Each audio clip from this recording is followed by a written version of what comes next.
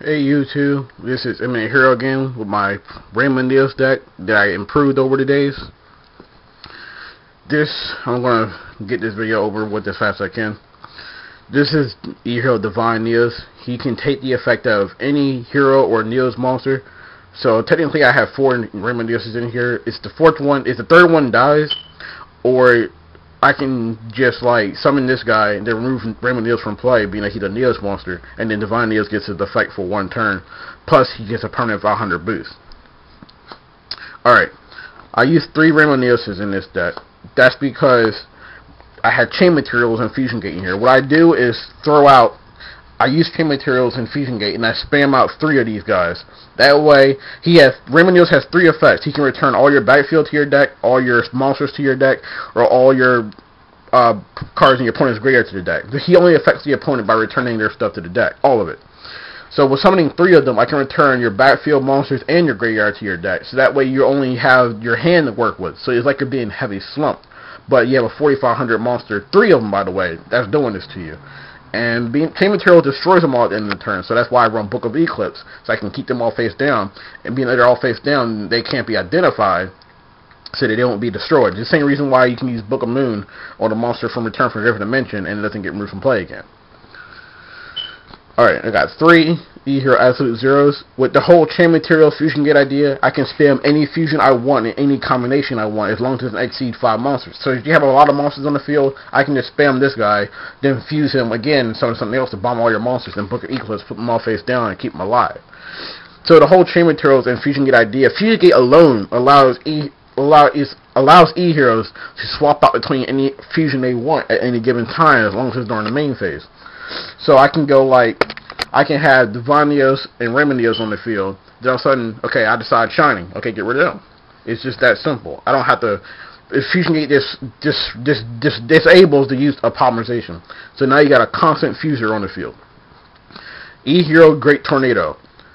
I got three of them in here. He has the attack and defense of all face-up monsters your opponent controls during on a turn he is summoned. So he's a good way to get like strong monsters weaker. So basically, he's a Blackwing Gale, but on a larger scale and, and and better in many ways because he's one, he's stronger, comes out faster, and he's not limited. All right, this Elemental Hero Gaia. His effect is just like Great Tornadoes, except for it only affects one monster, and Gaia gains half that attack for one turn. So basically, it's he attacks a monster in attack mode, that and, and that monster being affected by Gaia's effect, you're going to take 2200. It's like using Ryoku. Alright, I got a friend of mine trying to get me the English ones of these, finally. Thank I thank you, Asian Knight. I got two Elemental Hero The Shinings. He gain he defeats any E hero and a light monster. He gains 300 attack for every move from play E hero I control. And when he's sent to the graveyard, I can add two e move from play E heroes to my hand.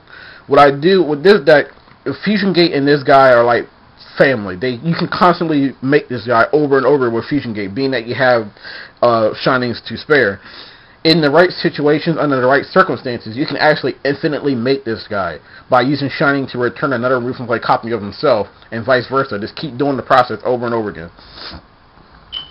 But um, with Elemental Hero Flash, when he's destroyed by battle and sent to the graveyard, you can remove from play him and three other different Elemental Heroes from your graveyard from play to add one normal spell guard from your graveyard to your hand. When he comes out, all you have to do is remove the play to, remove from play the Shiny that was in your graveyard, along with two with other ones and then add a spell card to your hand. And then with him, you can actually instantly make Shining because all you all you would do is use the Shining you just summoned to return the move from play Shining you move from Flash with Flash to your back your extra deck, and then make the process over over again. Uh, Hero Stratos. This is to search out Neos or Neos Alias to get that easy Gemini Spark or Rainbow Neos fusion. Or basically like fusing any of the Omni Heroes, meaning he can search any one of them. Alright, Grand Moles to get rid of the monster problems.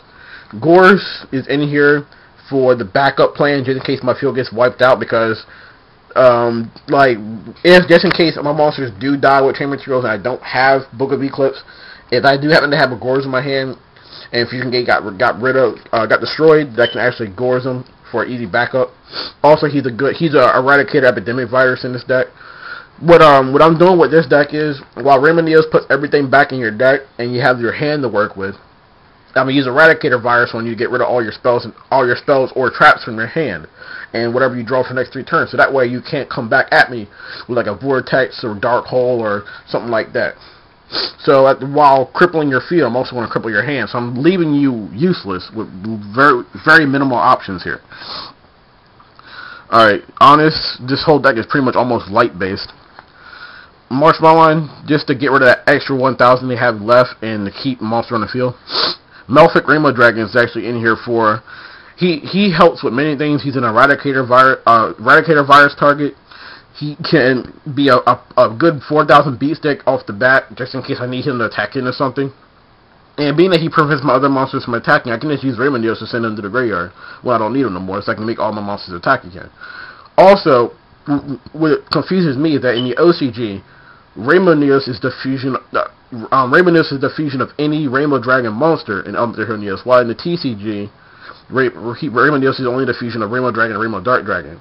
That mistranslation right there is why you can't use Prisma to send Rainbow Dragon or Rainbow Dark Dragon or this guy to the graveyard. It's because there's a mistranslation in what he's a fusion of from OCG to TCG. So in OCG, Neos actually confused with any of the Rainbow Dragon monsters compared to down here where it's only two.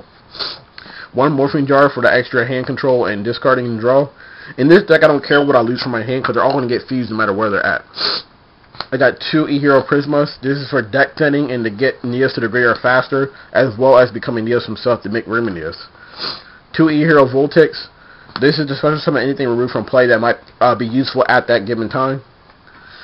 Three E-Hero Neoses. That's a no-brainer. He's in here because Rainbow Neos is him. Three Neos Aliases. They're Gemini Spark targets, and if he gets second summon, he can become Neos, so he can be another Rainbow Neos target.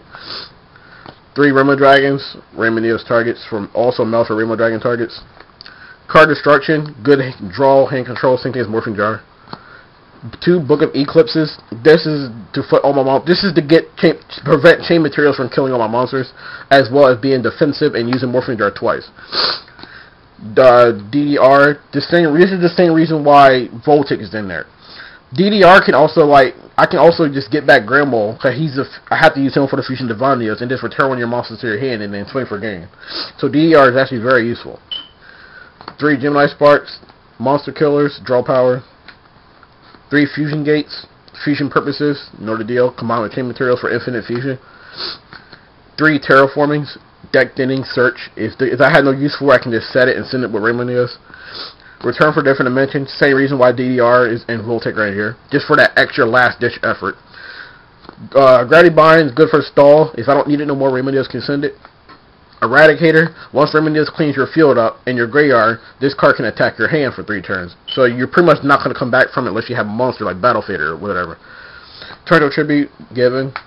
Two chain materials. This card says, if I were to fuse with someone at all during this turn, I can fuse from anywhere, from my hand, field, deck, or graveyard. But the monster, I cannot attack this turn, and the monsters are destroyed, which is why I Book of Eclipse them. This is what makes the deck work. If I can get out three Rainbow in one turn, your field is clean, and then I'm going to Eradicator you to knock out all your spells, because you can set your traps, and Rainbow can just get rid of those. I'm just worrying about your spells, something you can play off the bat. Alright, you two, that's been Eminent Hero, my Rainbow video. My last video will be about my new deck box that I made. I hope y'all like it. Comment, rate, subscribe. Tell me what you think. Alright, guys.